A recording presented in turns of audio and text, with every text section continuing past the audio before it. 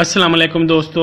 Education for all forum के official YouTube channel पर latest news के साथ आपकी खिदमत में हाजिर हैं। सूबाई हुकूमत का 15 रोज के लिए तमाम निजी व सरकारी स्कूल बंद करने का ऐलान। सूबे भर के तमाम स्कूलों में आठवीं जमात तक 6 अप्रैल बरोज मंगल से 15 रोज के लिए छुट्टियाँ होंगी।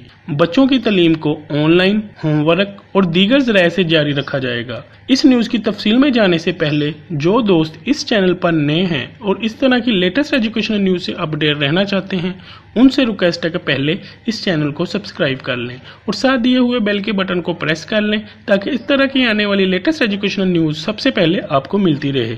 और हम इसी तरह मुकम्मल ईमानदारी के साथ हकैक पर मबनी, सच्ची और मुस्तन न्यूज़ आपके साथ शेयर करते रहें दोस्तों, सिंध हुकूमत ने पंद्रह रोज के लिए तमाम निजी व सरकारी स्कूल बंद करने का ऐलान कर दिया है। वज़ीर तलीम सिंध सईद गनी ने कहा है कि सूबे भर के तमाम स्कूलों में आठवीं जमात तक 6 अप्रैल बरोज मंगल से 15 रोज के लिए छुट्टियाँ होंगी। बच्चों की तलीम को ऑनलाइन, होमवर्क और दीगर जराये से जारी रखा जा सकता है। इस हवाले से उन्होंने समाजी रबतों की वेबसाइट ट्विटर पर ट्वीट करके बकायदा ऐलान किया, जो आपको स्क्रीन पर नज़र आ रहा होगा। मजीद ये कि महकमा तलीम सिंध ने बकायदा नोटिफिकेशन भी इस हवाले से जारी किया। वो भी आपको स्क्रीन पर नज़र आ रहा होगा।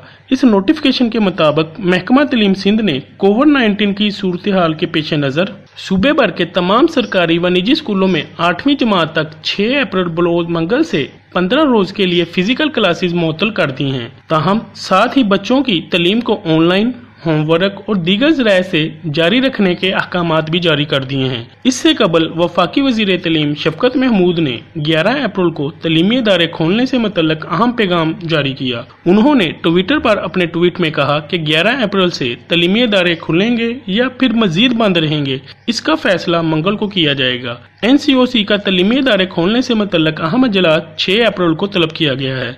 दोस्तों, सिंध में तमाम सरकारी व निजी तलीमी इदारे पंद्रह रोज के लिए बंद करने के हवाले से अगर आपको आज की हमारी लेटेस्ट अपडेट अच्छी लगे तो हौसला अफजाई के लिए हमारी अपडेट को लाइक करें, दोस्तों के साथ शेयर करें कमेंट्स दें और हमारे चैनल को सब्सक्राइब करें। पाकिस्तान, जिंदाबाद।